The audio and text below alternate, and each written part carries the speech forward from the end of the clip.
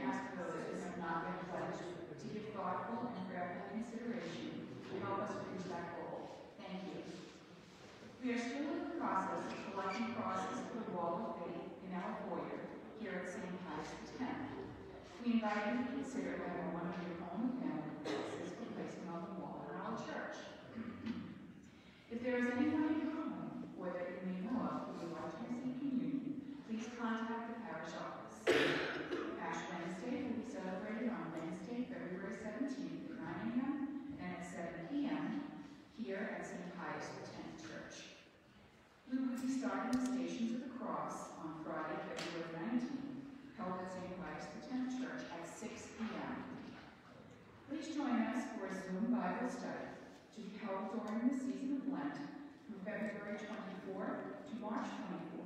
Please stay tuned for more details.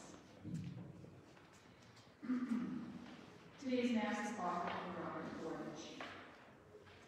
Before Mass is David Solomon, the with the choir, and I can have the director. Please stand.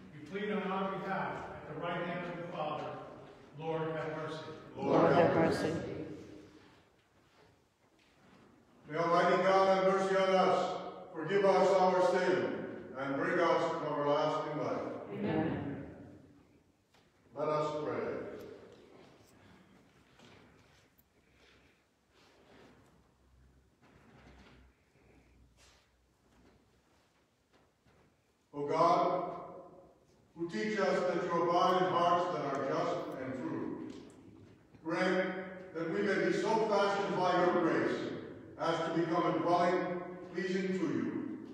Through our Lord Jesus Christ, your Son, who lives and reigns with you in the unity of the Holy Spirit, one God forever and ever. Amen.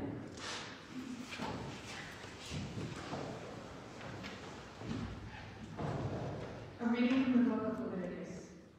The Lord said to Moses and Aaron, If someone has on his skin a scab or pustule, watch, which appears to be a sore of leprosy, he shall be brought to Aaron the priest, or to one of the priests among his descendants. If the man is leprous and unclean, the priest shall declare him unclean by reason of the sore on his head. The one who bears the sore of leprosy shall keep his garments rent and his head bare, and shall muffle his beard. He shall cry out, Unclean, unclean, as long as the sore is on him, he shall declare himself unclean, since, since he is in fact unclean. He shall dwell apart, making his abode outside the camp. The word of the Lord. Thanks be to God.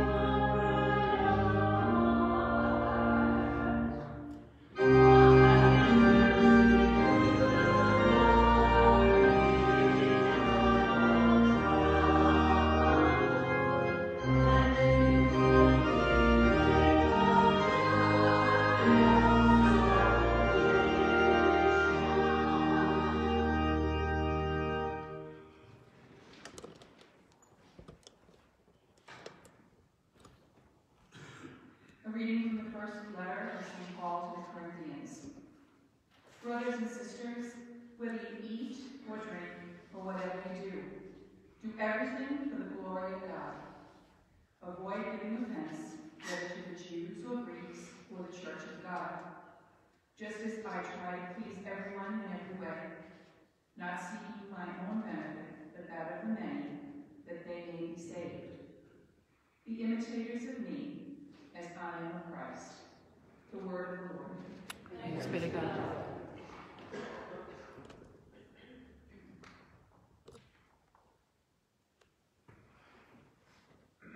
Alleluia,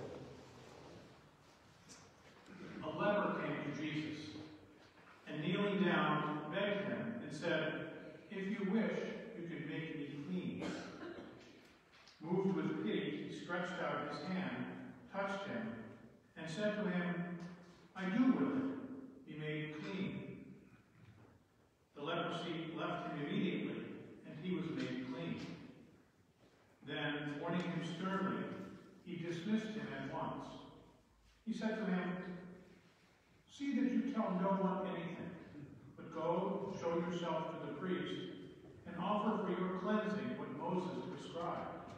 That will be proof for them. The man went away and began to publicize the whole matter. He spread the report abroad so that it was impossible for Jesus to enter a town openly. He remained outside in deserted places and people kept coming to him from everywhere. The Gospel of the Lord. Praise, Praise you, Lord Jesus Christ.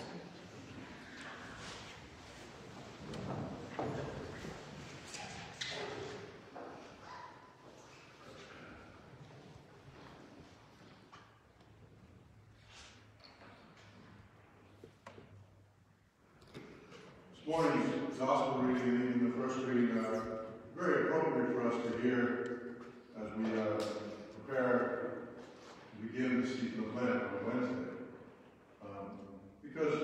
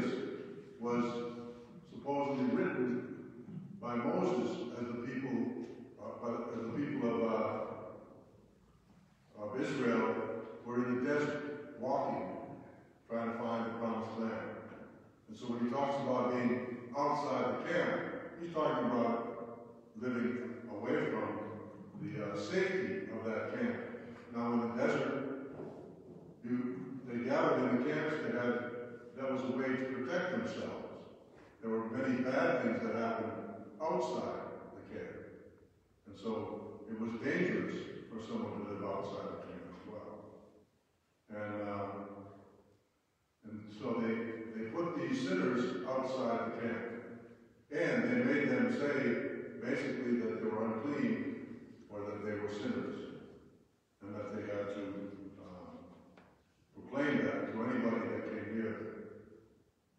So, then we have the story in Mark's Gospel, where Jesus comes upon this leper. And this leper, instead of shouting out that he's unclean, he says, if you will, And um, he makes a statement of faith, an act of faith, you might say. He knows and he believes that Jesus can heal him, if it's in within his will. And Jesus, we're told, looks with him with pity and he touches him. Now, for the Jews in that, at that time, and most people at that time, for you to touch someone who was unclean made you unclean. Now, Mark, in the Gospel of Mark, is, is the shortest of all of the Gospels, of all the four Gospels. Mark doesn't tell us stories about Jesus' birth and about um, his, uh, his youth. He doesn't tell us any of those stories. He, um, he doesn't words in his Gospel. But he's very uh, eloquent in his Gospel as well. Where uh, John had put it into words to say that Jesus came into the world to, to take take the world to take the world's sin upon him. Mark shows us by the simple action what Jesus' mission was. His mission was to touch us and to take our uncleanness, our sin, upon himself.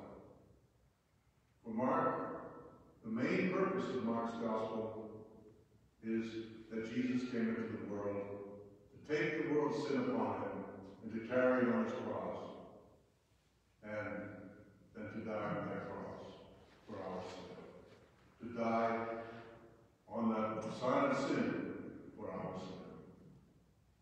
Mark doesn't even includes very little about the resurrection. The climax of Mark's gospel is the, crucifixion. Because it's so important to them and to, to express to the believers that that is the purpose of, of Jesus' mission. That he is the Savior of the world and, and that is, he does that by taking our sin upon himself and dying with it.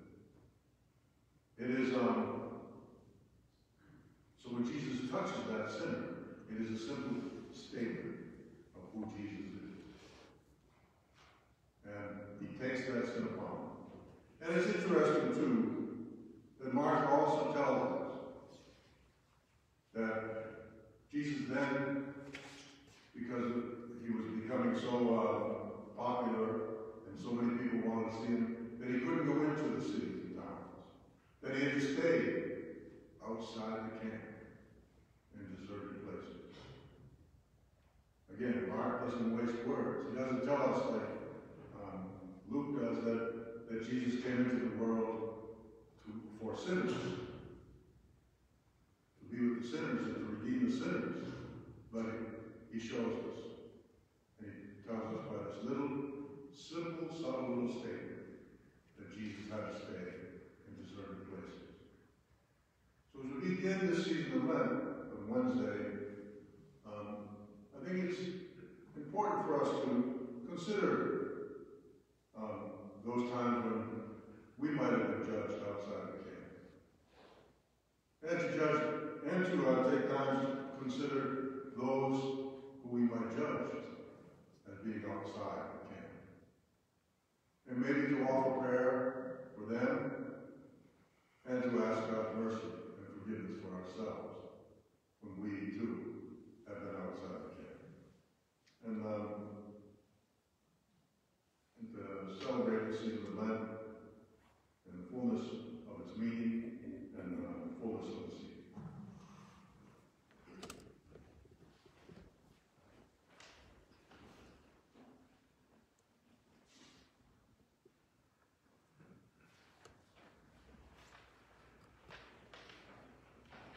Let us stand together and confess our faith. I believe In God, the Father Almighty, creator of heaven and earth, and in Jesus Christ, his only Son, our Lord, who was conceived by the Holy Spirit, born of the Virgin Mary, suffered under the Pontius Pilate, was crucified, died, was buried. He descended into hell. On the third day he rose again from the dead. He ascended into heaven and is seated at the right hand, God the Father Almighty. From there he will come to judge the living and the dead. I believe in the Holy Spirit, the Holy Catholic Church, the communion of saints, the forgiveness of sins, and the resurrection of the body, and life everlasting. Amen. So let us now make our prayers to the Father, asking Him to renew the cleansing and healing grace of His Son in our world today. We pray for the Church of God in every place, that she may shine forth as a community of reconciliation. Lord. Hear our prayer. For government agencies working for public health, that they may succeed in wiping out the scourge of disease. We pray to the Lord. Lord, hear our prayer. For those who have neglected the sacraments, that they may return to the healing peace of personal confession. We pray to the Lord. Lord, hear our prayer. For those studying for the priesthood diaconate, that they may prepare wisely and well permanent grace of ordination. We pray to the Lord. Lord, hear our prayer. We pray that in this time of isolation, we will continue to be generous to others with our time and support the needs of the hungry with food donations and our parish with our envelopes and online giving. We pray to the Lord. Lord, hear our prayer. For all those who have died, Richard Lemieux, and especially Robert Bordash, for whom this Mass is we pray to the Lord. Lord, hear our prayer. We pray for the intentions listed in our parish book of intentions at the back of the church, and for those that we hold in the silence of our hearts.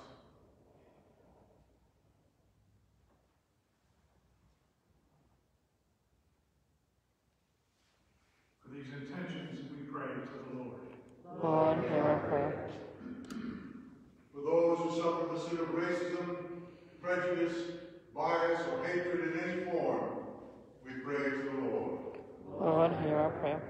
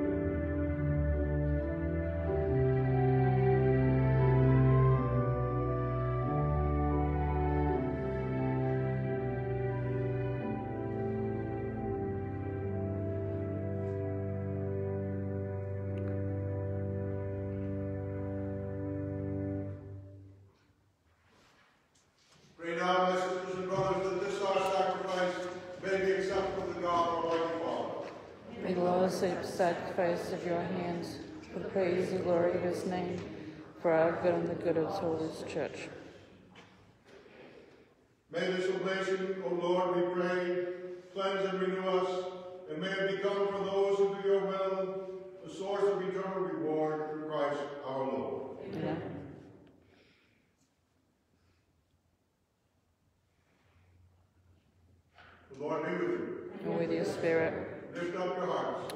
up to the Lord. Let us give thanks to the Lord our God. It is right and just.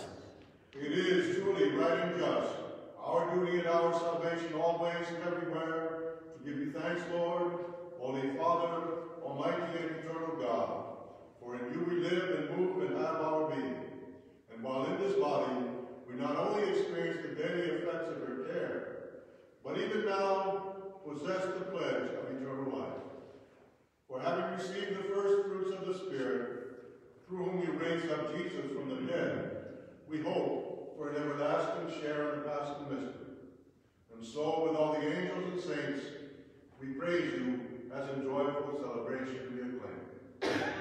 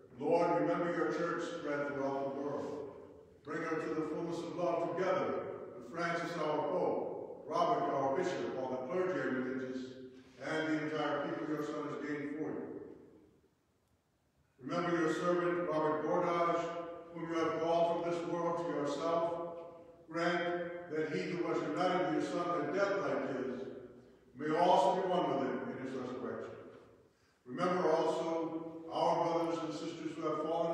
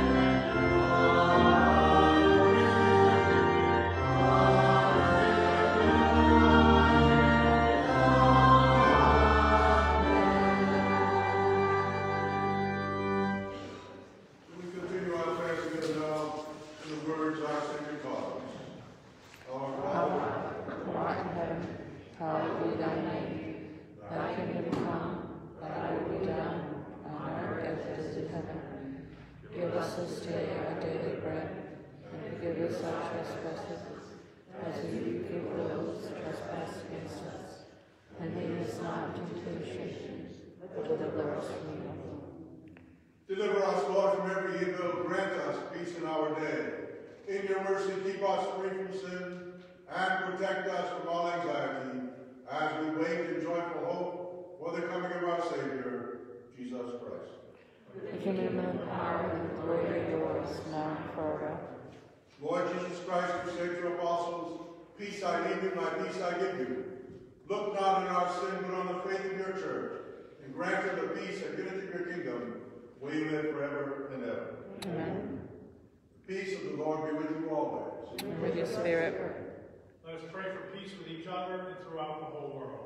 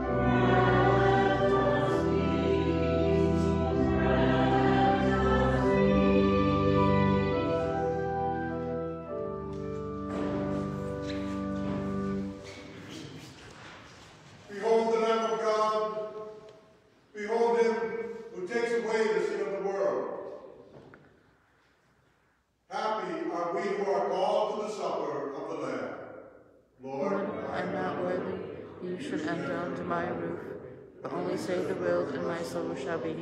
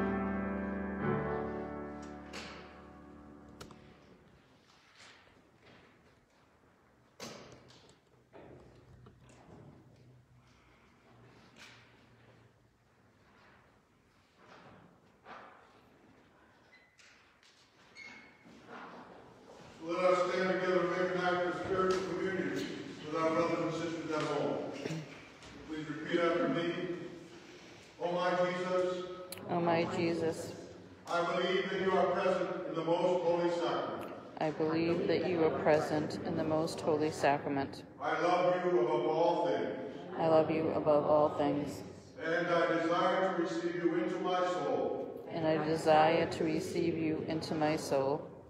Since I cannot receive you sacramentally at this moment, Since I cannot receive you sacramentally at this moment, come at least spiritually into my heart. come at least spiritually into my heart. I embrace you as if you were already there, I embrace you as if you're already there, and unite myself wholly to you. and unite myself wholly to you. Never permit me to be separated from you. Never permit me to be separated from you. Amen. Amen.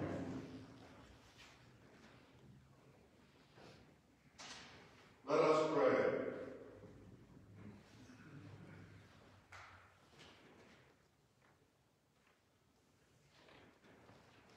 Having fed upon these heavenly delights, we pray, O Lord, that we may always long for the food by which we truly live, through Christ our Lord. Amen. Just a few things before we go. First is, uh, in the back of the church, there's a couple of books back there.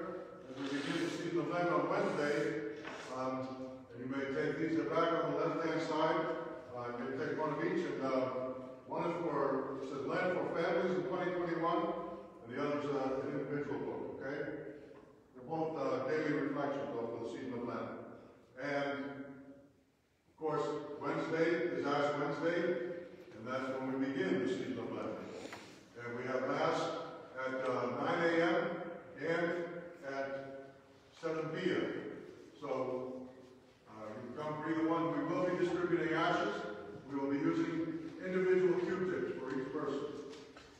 So, um, but you don't have to bring your own Q-tips. We'll find enough. Uh, so we will uh, have about that.